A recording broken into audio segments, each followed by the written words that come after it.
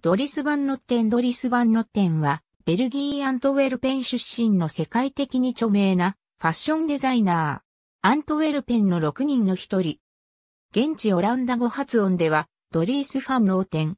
祖父の代から続く、既製服販売店の家に生まれる。その店は、アントウェルペンで、初めての男物既製服店。祖祖父は、着古したジャケットを完全にばらし、裏返しにして再度着られるようにする職人だった。12歳の頃から両親と共に、パリやデュッセルドルフなどでファッション見本誌を見て回る。1977年、18歳で、後のアントウェルペンの6人と呼ばれる、ウォルター・バン・ベーレンドンク等とアントウェルペン王立芸術学院に入学。メリー・プライオットの下で学ぶ。在学中学費を稼ぐためにフリーランスの子供服デザイナーとして働き、1981年に同学院を卒業。ドリスの父親は卒業後、家業を継いでくれるよう望んでいたが、服の販売だけでは物足りなく制作に魅了されていたため、営業用のコレクションのデザインを続ける。ベルギーの織物産業のゴールデンスピンドルコンペにフルコレクションを揃え、3度参加するも何も売れなかった。この経験はドリスに制作に関する影響を与え、現在でも見せ物のための服作りを拒否している。ゴールデンスピンドルで制作した服を販売するため、アントウェルペンに小さな店を開く。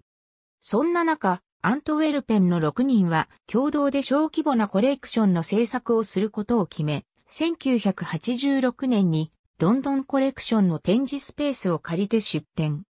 用意された場所がウェディングドレスの展示の後ろなどの悪条件のもと、懸命な宣伝活動の結果バーニーズニューヨークとホイッスルズのバイヤーの目に留まり、ドリスの制作したシャツとジャケットが売れるようになった。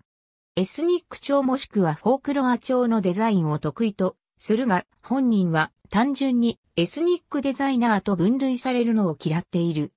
本人は自分の特徴を一見すると相入れないような要素、色を組み合わせるところだと語っている。また、スカーフ、マフラーが好きで、毎シーズン、レディス、メンズともに何種類ものアイテムを発表している。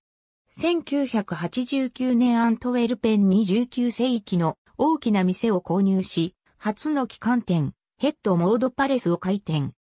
その後、世界2店目となる旗艦店が東京都港区南青山で開店したが、輸入代理店ライカとの契約終了に伴い2003年1月26日をもって閉店した。2009年3月に東京南青山に再び旗艦店が開店した。運営はドゥモローランド。現在、アントウェルペン、東京以外にパリ、ドバイ、香港、シンガポールに直営店がある。2016年にドイツベルギー合作でドキュメンタリー映画ドリス・バンノッテン・ファブリックと花を愛する男が制作されている。ありがとうございます。